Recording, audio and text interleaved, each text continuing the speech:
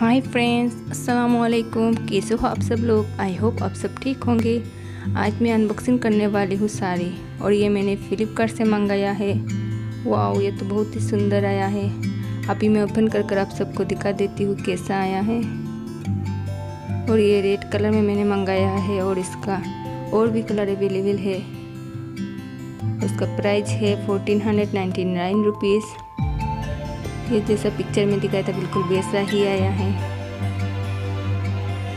अगर आप इसे लेना चाहते हो तो इसका लिंक डिस्क्रिप्शन बॉक्स में मिल जाएगी।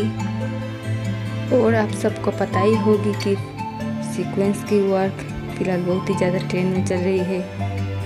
आप इसे कहीं पार्टी या शादी या किसी भी ओकेशन पर आप इसे पहन सकते हो। और इससे पहले भी मैंने दो सीक्वेंस की साड़ी आप सबके साथ शेयर किया है।